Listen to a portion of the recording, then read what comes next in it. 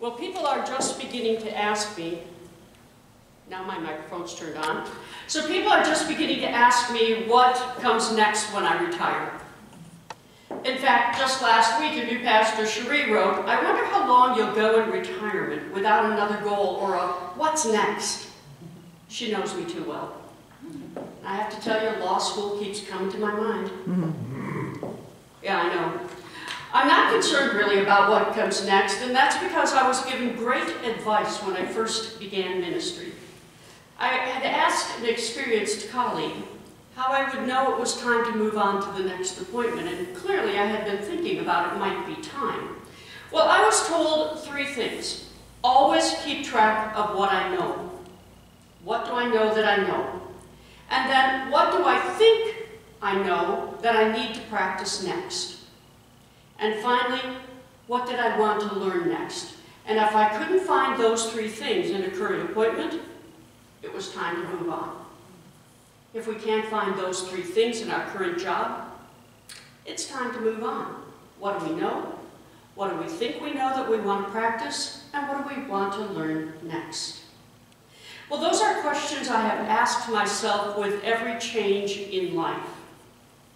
The night of the first Easter, the first followers were gathered in a locked room. They were hiding for fear of being arrested also, because if their leader had been arrested for blasphemy, well, surely they were next in line. And I believe they were also asking themselves, what do we do now? What comes next? How do we know what to do? Well, out of nowhere, Jesus appeared in the room. There was no doors being opened. No windows were open. Jesus just showed up. And we know Mary Magdalene, who saw the first risen Christ in John's Gospel, had told the other followers she had seen Jesus, and she told them Jesus said he was going to return to heaven. But I have real doubts as to whether any of the others believed that Jesus was going to suddenly show up in the middle of the room. They might have been surprised. So Jesus greeted them, and then, to prove that it was him, showed them his wounds in his hands and his feet. And once the followers were convinced they were in the presence of the risen Christ, Jesus told them exactly what was going to come next. Jesus first greeted them with peace, which I got to tell you, once Jesus tells me what's coming next, I need the reassurance of peace. But he greeted them with peace and then told them he was sending them just as God had sent him. And then Jesus breathed the Holy Spirit into them. Now, in John's Gospel, that moment on the evening of the resurrection was Pentecost. It was the moment when Jesus breathed the Holy Spirit into his followers. Luke's author put Pentecost in the book of Acts, but John, who had no clue that Luke was writing the book of Acts, included the first Pentecost in his gospel. Is that all making sense? Mm -hmm. Okay, because I'll tell you how you're looking at me. it must be the Sunday after Easter. So after Jesus breathed the Holy Spirit into his followers, he told them that their job was to offer forgiveness to others, and that would be done in the form of, of baptism. When a person was baptized, their old life would be washed away along with their sins, and they would become a new person in Christ. John's way of saying that was to say that their sins were forgiven. Now, baptism was and still is up to each person. Those who were baptized accepted the forgiveness and new life that God offered. Those who turned away from Jesus were turning away from accepting the forgiveness and new life that God offered to them.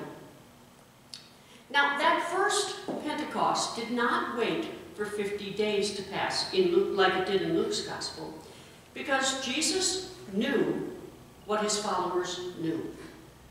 He was confident about what they knew.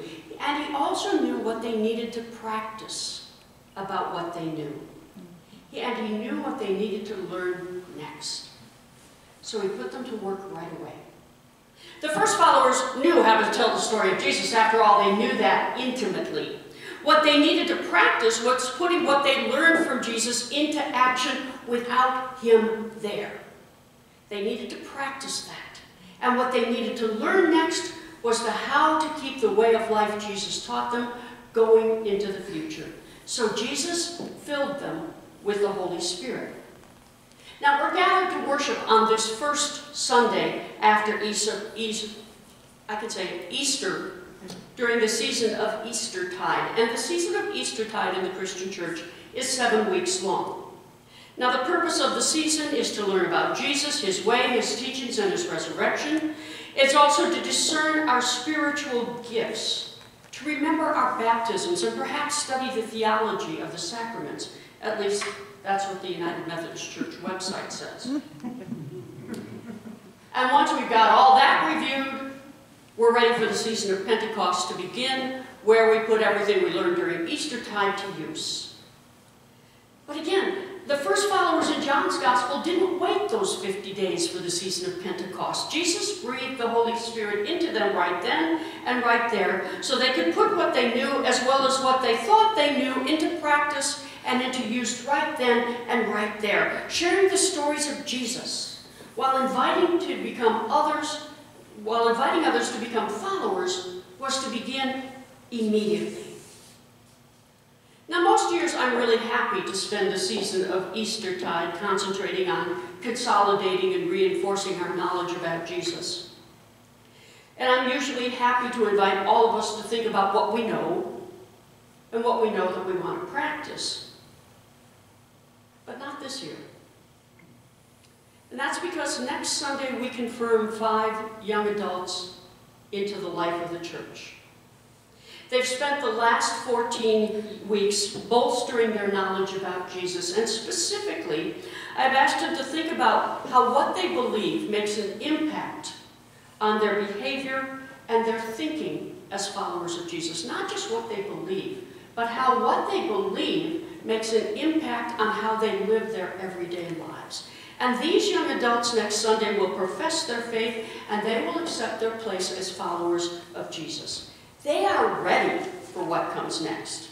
They know what they know. They know what they think they need to practice they know. And the rest, and like the rest of us, they all have something more to learn. So this year, I don't think we can wait those 50 days till Pentecost to get busy.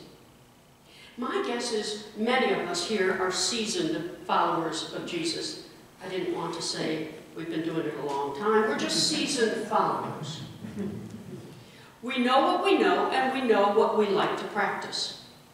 And if we haven't yet thought about what we want to learn next about Jesus, the Bible, or our faith, well, it's not too late.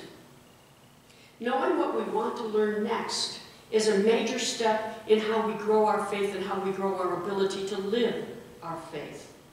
And as seasoned followers of Jesus, my guess is we're already putting what we know into practice. We just need another blast from the Holy Spirit, otherwise known as a Holy Spirit kick in the behind, to help us know what to do next. And this is the first Pentecost. I like it. Preach, dog. This is the first Pentecost when Jesus is ready to breathe the Holy Spirit into us. We don't have to wait 50 days for the Holy Spirit. We don't have to wait until I retire or until the new pastor arrives. I know, we're used to coasting this time, aren't we? Mm -hmm. Yeah, the pastor's considered a lame duck.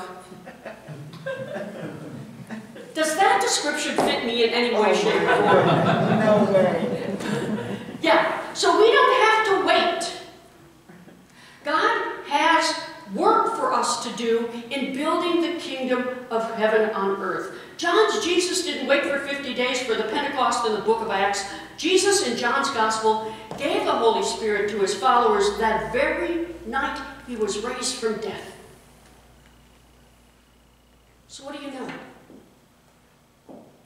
What do you know that you want to practice? what do you want to learn next about how to live our faith? Because those are the questions that drive our faith forward.